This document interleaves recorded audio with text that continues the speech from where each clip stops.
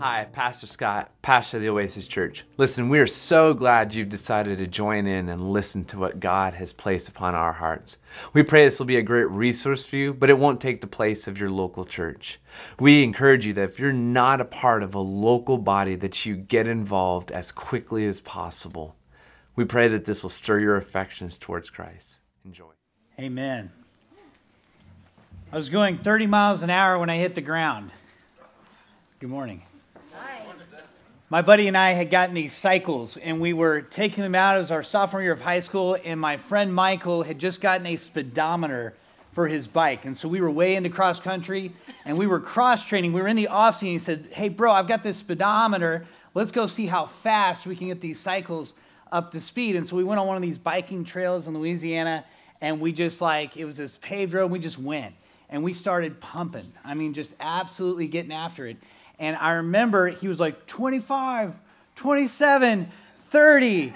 And right as he said 30, one of those little reflectors that's in the road, you know, the ones that like let you, you know, they're all bright. I don't know why they would have this on a bike trail. Who is shining a bike at a reflector on a bike trail in the middle of the I don't know, but my tire hit that. My wheel went sideways, and now I'm suspended in air 30 miles an hour over the pavement came down on my wrist, rolled, skidded, popped up, and just kept running. Ow, ow, ow, ow, ow, ow. Like it was rough, so rough. Later that day, I've got my broken bike, my broken ego, and just road rash. And I'm sitting in my buddy's house, and I say, Man, my wrist really hurts. It's just getting worse and worse. And the longer I sat there, I looked down, my arms just getting more and more swollen. He's like, Bro, I think you got to go to the doctor. I'm like, Fine, I'll go to the doctor. I had a broken wrist. Terrible.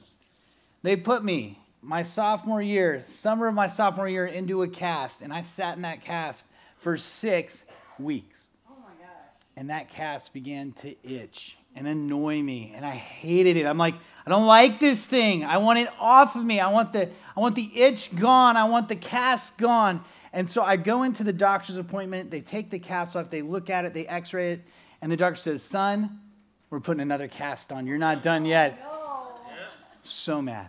So mad. I get home. My buddy Michael comes over, hanging out, and when he walks into my room, he finds me on my bed with a butter knife. Oh, wow. Scraping away at this cast. I said, I'm done with it. Don't want anything to do with this cast. I'm tired of the itch. I'm tired of the inconvenience. I'm tired of being shaped and molded. I, I, I need it gone. My arm felt fine when he took it off. I know bad. Let me get this thing off. Scraping, scraping. I got all the way up to my thumb. I just couldn't get the angle right. I could not get the rest of this cast off. So I said, Michael, I need your help. Oh, no. Take this knife. Apply the pressure right here. You've got to help set me free. So Michael starts hacking away at my cast, and all of a sudden the knife slips, and Michael doesn't say anything but just kind of walks away. I'm like, bro, you're not done yet. And he turns around, his hands are full of blood.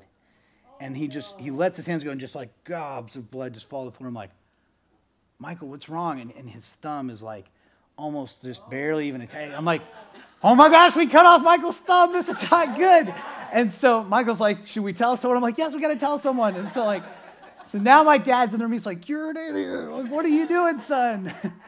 we get Michael to the hospital. Now Michael's got stitches and is in a cast with me for the rest of the time. And so, why did I tell you that story this morning? Because we are going to be tempted in our Christian walk to not want to feel the itch, to feel the healing work of God's word on our lives. So we're going to try and shy away from God's work because it's uncomfortable. When God goes after a heart that is broken, sinful, in need of repairing, it is always going to come into tension with your desire to not feel discomfort. And what we're going to learn today out of 2 Timothy chapter 4, if you've got your Bibles, get to 2 Timothy chapter 4, is that when we gather, when we come to this place, God is trying to do something very specific to your heart through the preaching of his word. And the temptation that we're all going to experience in this life is to not endure sound teaching, but to be drawn away by the things that tickle, itch, our ears. There's going to be things that draw you away from the Lord because they sound really good to you. Here's what I want to do this morning. We're in the middle of Vision Month at our church. And what you get is us preaching our journals. We've been praying, asking the Lord to help give us just a direction for 2021. And last week we talked uh, for a long time about what it meant to raise godly children, to cultivate them up in the faith. And that today I want to give you a solid understanding of what we do on Sunday morning. When you sit underneath the teaching and preaching of God's word, what is God trying to do to your heart? What was the problem with my sophomore self? I didn't realize that the doctor could see things I couldn't see, that the doctor had knowledge I didn't have, that the doctor knew that there was a way to heal my arm that had to follow a very specific process. And it was my arrogance, my youth, my, my lack of knowledge, my lack of submission to the healing properties of that cast yep. that resulted in me being in a cast longer. And it got my friend pretty hurt. The same thing is true in the Christian walk. When we do not submit ourselves, to God's teaching, when we don't say, Lord, you shape me.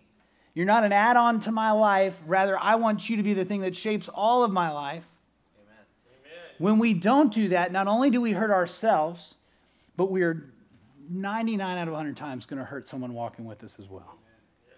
It's a community endeavor. So, what are we doing? We're going to talk about three things today. The first is this What in the world is my pastor doing when he stands up and he starts preaching God's word? What is happening in this space, and how should you be thinking about that space. The second is we got to talk about how our flesh doesn't want to conform to the Word of God. That when you sit down and you hear a sermon, when you hear God's Word preached faithfully, your flesh is going to say, mm mm, mm don't like it. But the Spirit God's put inside of you is going to say, come on, that's exactly what you need. That's exactly what you need. Pressing closer, pressing closer, learn, submit, repent. And finally, I want to give you guys just an encouragement about what you need in your life to grow in godliness as we move into 2021 and as you just follow Jesus for the rest of your lives. You are going to need godly teachers in your life. You're going to need them. So let's do this. We're going to pray, then we're going to read 2 Timothy chapter 4 verses 1 through 5, and then we're going to study God's word. Would you pray with me? Father, we love you. We love you because you're good. We love you because you are the Almighty, you are our Creator. Lord, you sent your Son. He died on a cross to pay for our sins. And Lord, you've called us into a kingdom, which means you are the King. And we ask you, Lord, this morning to cultivate our hearts, soften our hearts, to shape us into the image of your Son. Lord, our natural disposition is not to obey you. Our natural disposition is not to hear you. Our natural disposition is to long for the things that we think will fulfill us. God, would you tear down those walls today? Would you soften our hearts so that we can receive your word? In Jesus' my name we pray. Amen. Amen. We're going to read a passage out of 2 Timothy chapter 4. This is one of the pastoral epistles, which is a name we kind of give it because Paul is writing to Timothy and saying, This is how you ought to be pastoring the churches that are underneath you. And so there's all sorts of amazing stuff in Second Timothy that's very encouraging for, say, like your pastors. They read this and go, oh, that's how Paul was telling Timothy to do it, right? But here's the thing when you read the pastoral epistles, you shouldn't be like, oh, that's just for pastors. This is just their instruction handbook. Because Paul says what? In Corinthians, he says, imitate me as I imitate Christ. And so everything that you see Scott and I do from the pulpit is meant to be an example for you. This is how you ought to teach. This is how you ought to think. This is how you ought to read the Bible. These are the things you want to be looking for. And so when you read 1st and 2nd Timothy, don't say, oh, I'm never going to be an elder in my church. I'm never going to be a pastor. I'm never going to be a deacon. I'm never going to be that guy. Wrong.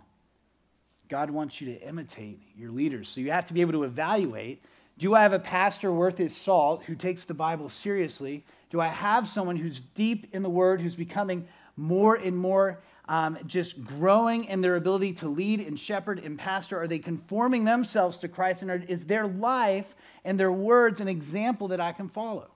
So you've got to be able to evaluate what you're hearing. You've got to be able to evaluate what you see. Second Timothy is a good book for that. How do you know you have a pastor that's worth listening to? Second Timothy is going to give you the criteria. It's going to show you what a good pastor who's preaching the Bible looks like, sounds like, and is focused on.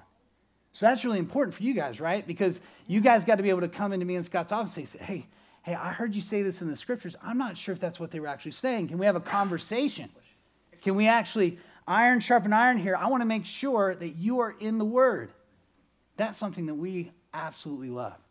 Anytime someone comes in and says, Pastor, are you faithfully teaching the Word? That's a challenge we want. Because what does it do? It challenges us to make sure we are being in the Word, Amen. being in the faith. That's, that's how you and I work together. Now, check this out. Let's read. We're in chapter 4. Paul has already told Timothy that he has commissioned him to be a pastor. It says that he called him in front of a bunch of faithful men, said, I taught you all this stuff. I want you to go teach these things to others. And what are you going to teach them? He says, I want you to rightly divide the word of truth. That's in chapter 2.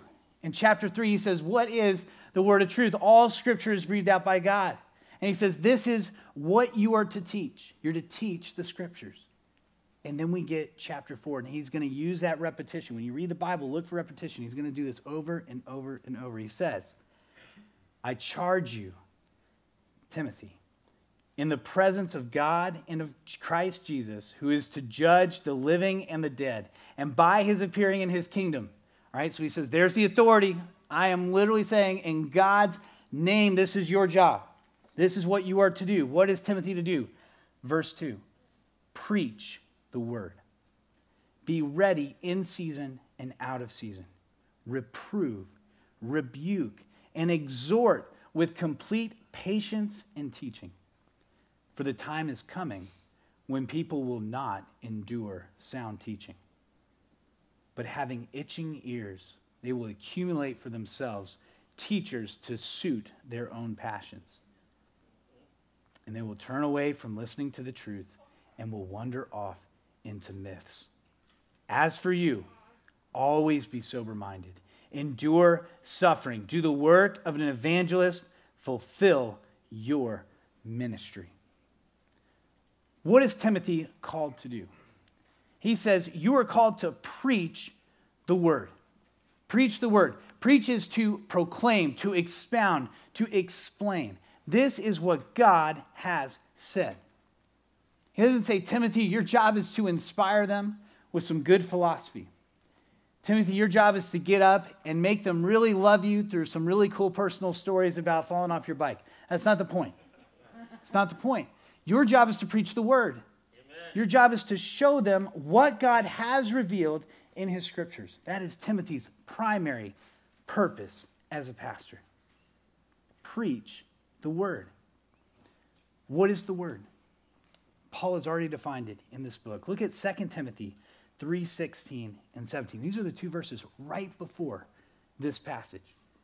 He says all scripture is breathed out by God and profitable for teaching, for reproof, for correction, and for training in righteousness, that the man of God may be complete, equipped for every good work. What is Timothy's goal? When he preaches to his congregations. He wants them to be equipped for every single good work. In fact, he says, Look, I want you to teach, reprove, correct, train them in righteousness, that the man of God may be complete. If you do not have the word of God in your life, you are not walking in completeness. Amen. If you're not coming underneath the word of God, you're not following the gospel you're following the flesh. And he says, Timothy, your job is to get them the word. Because it's the word that shapes them. It is the word that teaches them. It is the word that makes them complete, that trains them in righteousness. It is a sufficient word that Timothy is going to preach. What does he have to do with this word? 2 Timothy 2:15 he says. But avoid irreverent babble, for it will lead people into more and more ungodliness, and their talk will spread like gangrene among them. Rightly divide the word of truth. We must rightly divide the word of truth. Do your best to present yourself to God as one approved, a worker who has no need to be ashamed, rightly handling the word of truth. When a pastor preaches, he can rightly handle God's word, or he can what? Wrongly handle God's word. This is really important because we live in a day and age where we compare opinions. And we're not interested in opinions when we're talking about God's word. Amen. God says there's a right way to handle it, there's a wrong way to handle it. How do we know it's the right way? How do we know that the Bible, how do we know that the pastor is preaching the word of God? How do you know it? Well, Paul says this when he calls Timothy. He says in chapter 2, he says, Then you, my child, be strengthened by the grace that is in Christ Jesus, that what you have heard from me in the presence of many witnesses, entrust to faithful men who will be able to teach others also. The teachings of Scripture did not start yesterday. The teachings of Scripture did not start 100 years ago. The teachings of Scripture have been going on ever since God first started revealing himself to man in spoken word. It means we need the church and we need the teachers that God has given us in the church who have been taught by Paul. And then Paul taught Timothy. And then Timothy's disciples taught guys like John Martyr and Polycarp and Tertullian and Origen and Athanasius and Augustine. Who are all these men who have been wrestling with Scripture for the last 2,000 years, who have said, We're reading the sentences. God has spoken in a way that mankind can understand and discern and disseminate. And we have, as a church, collectively, for the last 2,000 years, been ironing out what is good doctrine. And guess what? We have very, very firm foundations on what good doctrine is in the church. This is why in Ephesians chapter 4 it says, I have given them the apostles, the prophets, the evangelists, the shepherds, and the teachers, so that they might be equipped for the work of ministry. God has given us His Word, He's given us His Holy Spirit, and He has given the church teachers who have been ironing out and wrestling with God's Word for thousands of years. And we have landed very solidly on what this Bible teaches sufficiently so that we can say with pure confidence, this is how you get saved. This is what salvation is. We know that Jesus is the second person in the Trinity, the Son of God, and that through him, he's the only way to get to the Father. That it's not one way, it's the only way. We can foundationally, firmly say those things about God. We know how to rightly divide the word of truth. And so you need a pastor who's going to preach God's word that he's going to draw from God's word the truth. So Timothy's supposed to preach the word. What is my pastor doing up here? He's preaching the word. He's trying to give you training in righteousness. He's going to try and rebuke, reprove, exhort. And let's talk about those words. What does it mean when it says reprove? Reprove is a correction. It means I'm changing course. I'm going to help you go from left to right. I'm going to help you be from wrong and into right. I want to help you walk better with Jesus. Amen. Now, reprove is a cool word because reprove is like a gentle correction. It's spoken softly, it's given with compassion. It's saying, hey, this isn't right. It's not quite right. Let's just adjust a little bit. Come back this way. It's funny, like I see this with my toddler all the time. He takes Grant's toy and I say, Hold on, Tucker, come here. That wasn't right. Let me reprove you. Let me show you what is right. Give the toy back. We share. That's what you're supposed to do. You're supposed to share, son. A reprove is something that is compassionately given. It's a small shift in the direction. You're just a little off north. Let's get you back north. But what is a rebuke? A rebuke is a harsh correction. It's like when my toddler runs into the street and I go, Tucker, stop. And he goes, why am I harsh when my son's running towards the road? Because it's his life that's at stake. If you don't realize that you're in a spiritual war, that we are not contending with flesh and blood, that the enemy wants you spiritually dead and separated from God, then you cannot appreciate when a pastor says, Stop it. Don't go there. Don't do it. The Bible's so clear that is not good for you. And so we reprove, we say, hey guys, this is how we walk better with Jesus. This is how we walk better with Jesus. And we rebuke, we say, stop, stop, stop, stop. That's danger. That's off limits. Don't go there. You have to have a pastor who's willing to rebuke from the pulpit. Because that's what's going to help you. It doesn't do me any good to reprove my son gently as a car careens down the street. That's not love. That's not being a good dad. I want a dad who runs out, grabs his kid, and says, Don't do that. Don't do it. I love you too much to let you run into the street. I love you too much to avoid hard passages of scripture that tell you exactly where the pit lies. Amen. You have to teach and rebuke and reprove. And you get to exhort. Exhort is encouragement, it's a call to rise up. It says, Look, don't go here. Really, don't go there. Follow me. Let's go here. Let's go here. I was running the half mile in high school. That was my race. It was an absolutely torturous race. And I remember I would be running that last 100 yards, and my coach had this thing where he would like use really flowery language at me in the last 100 yards while running next to me. You know, and I can't really say what he said, but he was saying, Let's go, let's go. You got 100 yards. Come on, come on, come on. Let's go, let's get it. Let's go. Part of preaching is, I just want to tell you guys, we got to go take the gospel out there. Amen. Let's go. God has called us up and above, and He wants you to know Him, and He wants you to be more like Jesus. And through the power of His Holy Spirit, He's going to shape you, call you into repentance, and He's going to say, Let's go. Let's get after it. Let's follow Jesus. It's amazing what people will do when they are encouraged to do it. Man, I was a youth pastor for several years, and one of my favorite illustrations is when I would take a kid and I'd say, I want you to hold this chair over your head for as long as you can. And they'd stand in front of the, you know, their peers and they'd hold that chair up there and we'd just set a timer 20, 30 seconds, they'd come down. Good job. Now I want you to do it again. And I would tell the whole crowd, I want you to cheer for this person. Get loud. Come on. Everyone get really loud. And all the kids would be like, oh, you can do it. It's awesome. I kid you not. That kid would usually like quadruple their time. You from like 30 seconds to like two minutes, we're like, ah, like, I got this we need exhortation. We need to be encouraged. We also need rebuke and we need reproof. Our flesh doesn't want reproof or rebuke. It doesn't. And that is something that we have to meditate on this morning. Verse 3 says, For the time is coming when people will not endure sound teaching. Before we even go there, you don't want to run past this. How is Timothy supposed to reprove, rebuke, and exhort?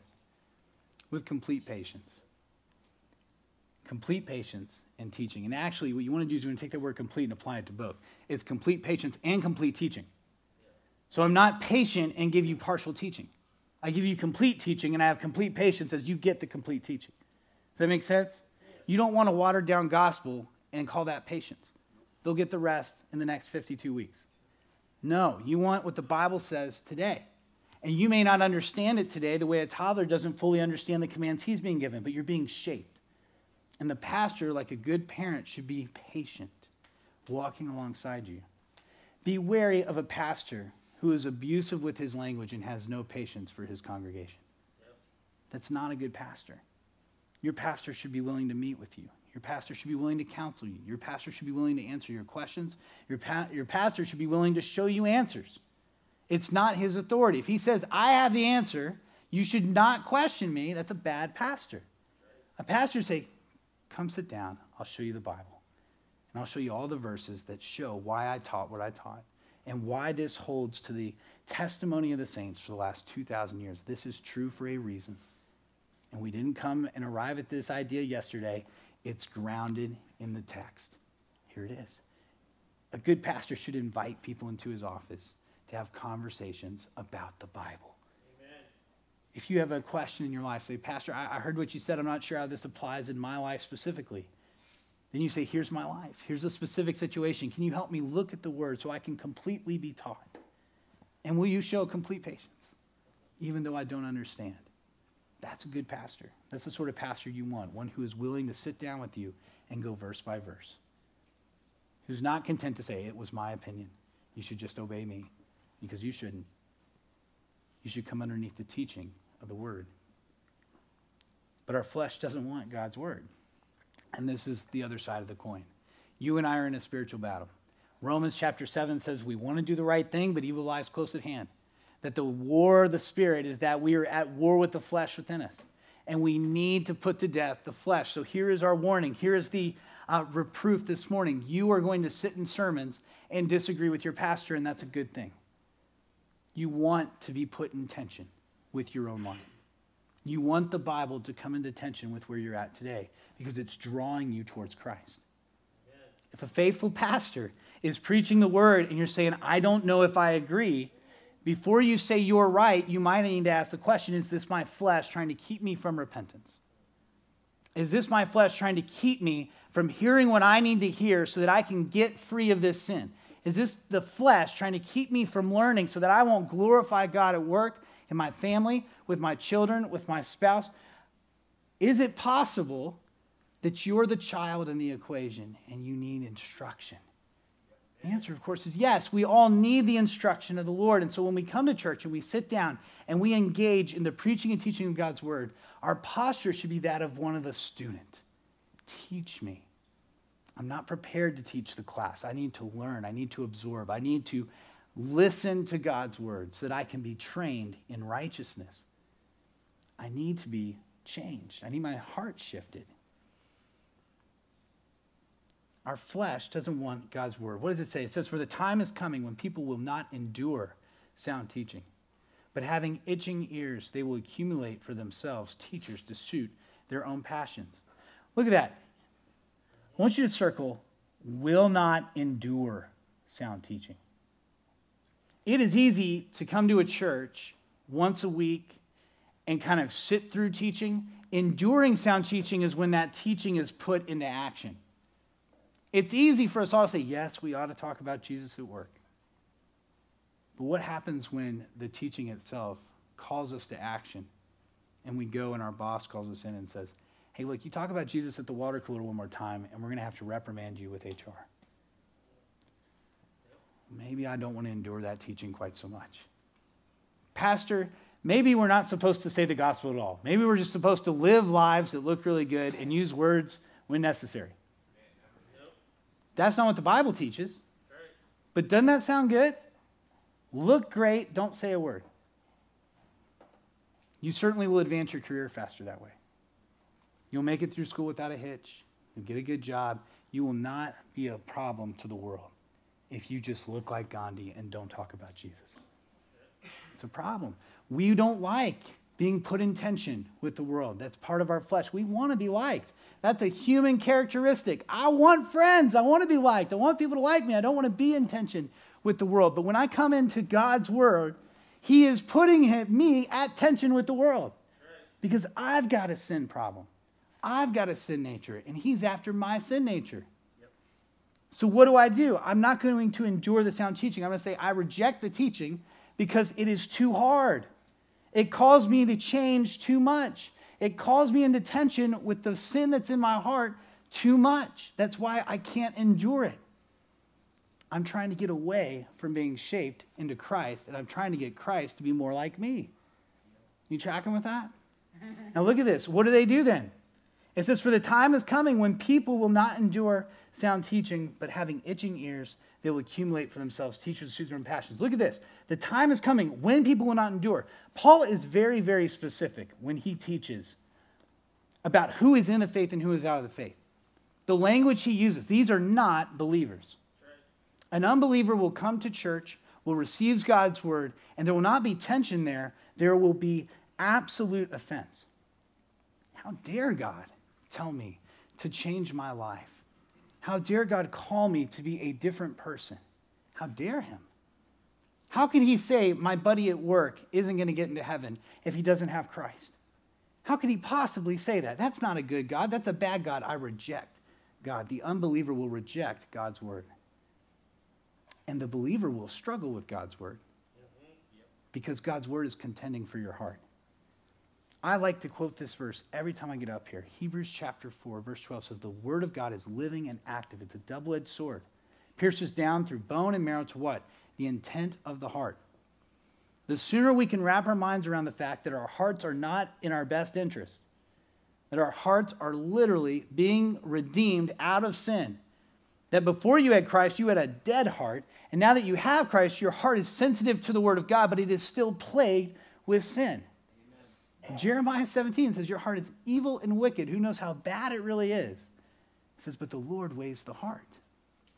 And so every time I sit down and I hear the word of God, I'm asking the Lord to offend me. Offend the spirit, the flesh that would try and lead me away from obedience to your son. Amen. Make that smaller. Make the flesh smaller and your son magnified in my life. Make my heart sensitive to the words of God, not to the words of man. Make my heart obedient to the word of God that I might experience the joy and the promise of your faithfulness. Lord, you have your way with me through your word. But offend me so that I will move away from sin and towards the cross. That's a good thing.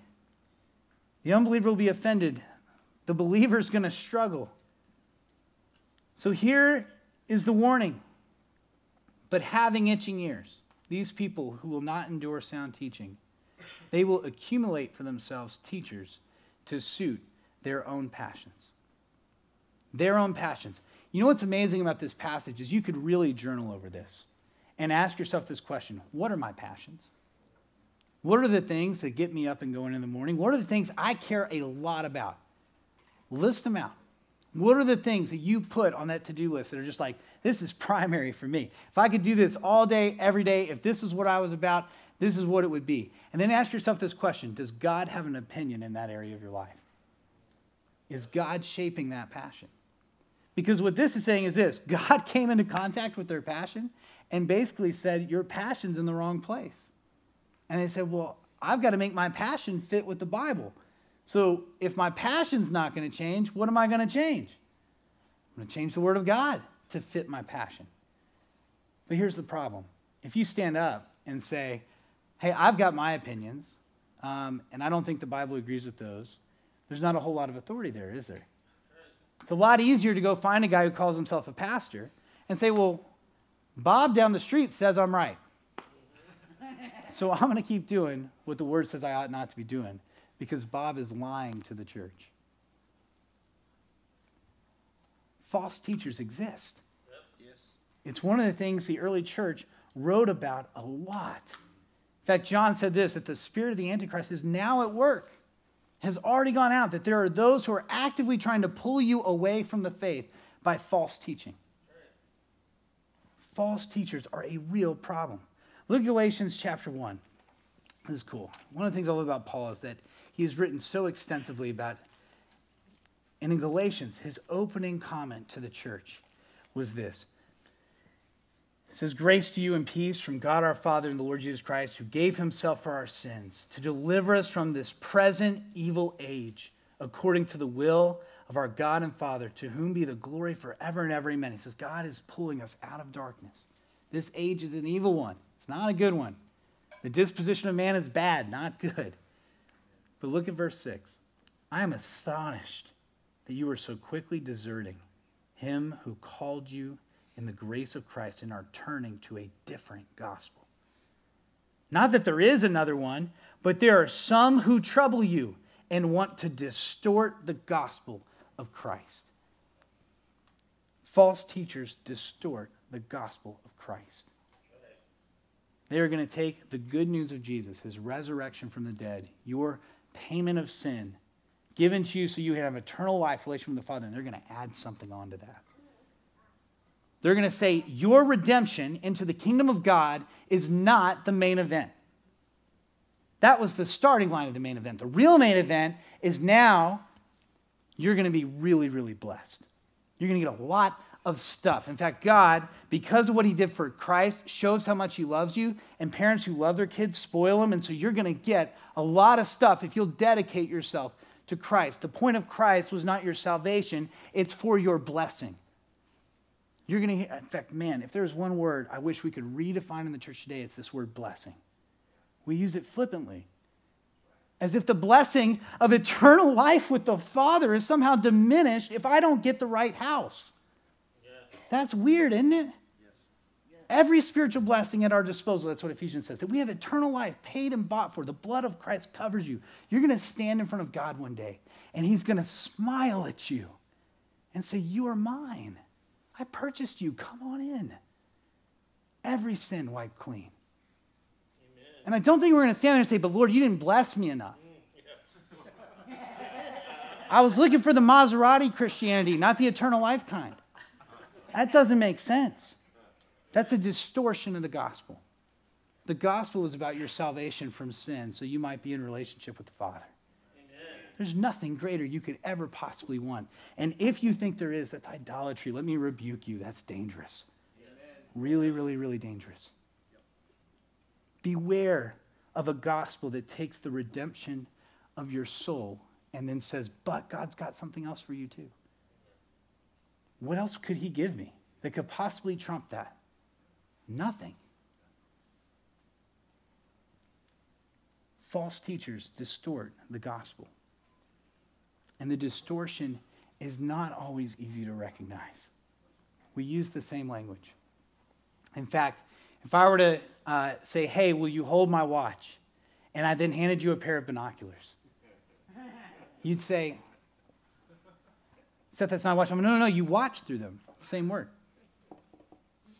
It's what a lot of false religions that use Christianity as an umbrella like to do. We worship Jesus. You worship Jesus, we worship Jesus. Oh, really? That's great. The second person of the. No, not the second person of the Trinity. The one true God. No, not the one true God. Well, then, wait, why did you call yourself a Christian? You're not a Christian. That's a false religion. You're a false teacher. You've distorted the gospel and you've actually distorted doctrines that have been established through the church. That's not true. Church, I strongly encourage you, if you have not done this, go to our website and read what we teach at this church. If you haven't done that, you're not holding me and Scott to account. It should not take but a click to get on a church's website to find out what they believe and what they teach. I will never understand why churches hide their teaching. It's not healthy. It's not a good thing. Why? Because they're saying we don't want you to see what's behind the curtain. But that's not what the Bible says. The Bible says you've got to teach them the word. Show them what you're going to teach. Be very clear about what the gospel is. Be very clear about what sound doctrine is in your church. I used to take college kids in our college group, and I'd hand them three doctrinal statements. I was like, here are two Christian churches, and here's the Mormon church. Which church are you going to choose? And I wouldn't tell them which ones they were half our college team would join the Mormon church. Why? Because they had never been challenged to disseminate good doctrine from bad doctrine. And so they couldn't see that when the Mormon church said, uh, We believe that Christ is one in purpose with the Father, but is not one with the Father. They didn't realize that was a heresy, that they were actually saying they weren't Christians. That they were going to call them to a false gospel because they just distorted the message a little bit. You have got to be diligent. Be diligent with us. That's a challenge today. That'd be a good application. Go check out our About page. We've put what we teach on our website. It's important to us. We think that's something a church should be transparent about. Heretical teaching is almost always biblical. You say, wait, what? What does that mean? What I mean is, every good heretic has got a Bible verse to show why they're right. Which means we've got to be able to know the word better than false teachers. Church, I just want to warn you. We live in a day and age where people are doing what is right in their own eyes, and we are not any less susceptible to that sin. It says in chapter 4 But having itching ears, they will accumulate for themselves teachers to suit their own passions. May I suggest, if you are not following a false teacher, and yet you are resisting the teaching of the church, that you might be the guy you're listening to the most. That the person itching your ears is yourself. I want to challenge you. When you read the Bible, does God agree with you or disagree with you more often than not? Who's right nine out of 10 times when you come to a hard passage? You or the Lord? Who's making the concessions in your life? God or you? When your pastor says, Hey, I want to call you higher, I want to encourage you to go out, do you have a bunch of good reasons why that doesn't apply to you? This would be a reproof, right? I'm not hitting you over the head too hard. Beware being the person who's tickling your own ears. find a pastor, find a church. That's what we believe our church is a church that is grounded in the word of truth. But you've got to hold us accountable. Amen. One of my favorite passages in Acts is when the Bereans hold Paul to account. He says, Here's the gospel, here's what God has revealed. And they say, Hold up, go get the scrolls. We're checking that. We're not just taking you at your word, Paul. We want to know what God has revealed. But Paul was shown to be true, and they said, All right, we're in. If God says it, we're in. Amen. And that should be the call of the church. If God says it, we're in. Last point you need godly teachers. We all do. There's three questions you need to be asking about your life Who's discipling me? Who am I discipling? How am I serving God's church? God is the one who set up pastors in his church. So don't be deceived. If someone says all you need is the Bible, that's not what the Bible says. The Bible says this is all the truth you need. But we need teachers. We need them. Ephesians 4 says that God has specifically given us them for our good, that they're going to help us be equipped to be trained in righteousness, to do the work of ministry. You need the pastorate, and the pastorate needs the accountability of the congregation. It's very, very important. You need godly teachers. I want to encourage you this morning. Who in your life have you given permission to reprove you? Who in your life is able to rebuke you? I mean, a harsh, good, harsh rebuke, slap on the wrist. Don't go there.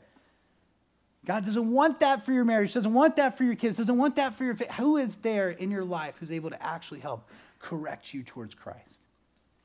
At least once a week, when we gather in this place, Pastor Scott, myself, the teachers who stand in this podium are there for your good. And so every week when Scott gets up to preach, something that I'm praying in the back for myself is Lord, use Scott to shape my heart. As one of the pastors on staff, I don't get to dodge that and be like, well, I'm one of the pastors, so I'm, I'm the authority now. Here we go. That's not it. It's not at all. So, you know what we do as pastors? We make sure that we're reading who has come before us. You should do this too. 2,000 years. Guess what? The Holy Spirit didn't wake up yesterday and say, let's make some Christians really good, godly men have come before us, and they wrote stuff down. They said, This is what God is showing us in the Word. And then they contended with one another. You should know who has come before you, and you should find out what they think about the Bible. It's important. Why is it important? Because God has given the church teachers. And those teachers span more than the last 50 years. I just want to encourage you so much. If you've never read some of the reformers, if you've never read Augustine, if you've never looked back and said, who were the guys that the apostles taught? Did they write stuff? Yeah, they did. You want to know how much they wrote? This amazed me. It's a little fun fact, a little trivia for you. You can take the letters, just the letters, of men and women quoting the Bible in the early church. Not copying the Bible, not transcribing the Bible, writing letters back and forth talking about Jesus. And you can reconstruct the New Testament four times with their quotes. Polycarp, what do you think Revelation, what do you think this is talking about? And they're quoting the Bible to each other. We can reconstruct their conversations. We can reconstruct the New Testament four times. And that's on top of the 5,700 copies and fragments of the New Testament we have. It's amazing. There are people that we need to contend with who have already died and are in glory, who thought really, really well about the church. As your pastors, part of our mission is to make sure we're learning and that we are, like it says, look at this, it says, be ready in season and out of season. What does that mean? It means your pastor's got to be ready to give a response for the hope that he has in him at a drop of a hat. If I'm standing on the street corner and someone says, Preach, go, I, I know what I'm going to say. I know exactly how to present the gospel. And guess what? Our job is to teach you to do the same. And so here's the thing I want Scott's schedule so busy with you guys going into his office saying, Will you teach us? Teach us the gospel. How did you preach? How did you discover that in the text? How do you find out what you're discovering? I, I, I didn't see what you saw. Can you show me how you got there? We want that accountability, and you want that training. We don't charge that stuff. It's free. Come and get it. The Lord has given the pastors to the church. It's not like a gym where you got to go get those private sessions, right? Like you call us up, we're like, yes, Bible, let's go. That's what we do. I want to encourage you, church. Look at this. What is my pastor doing? He's trying to be a Christian who's faithfully teaching the Word of God. You and I, this isn't my position most of the time. We have to sit in submission to the Word of God. Let me give you the gospel. Jesus, when he rose from the grave, purchased your salvation. Amazing. We have offended God. We have done everything. We deserve wrath, hellfire, destruction, and yet God sent his son so that you and I might gather and say, let's get after Jesus. And he does that for us through his word, through your personal time in the word, but he also does it right here, the preaching and teaching of God's word. Let's pray.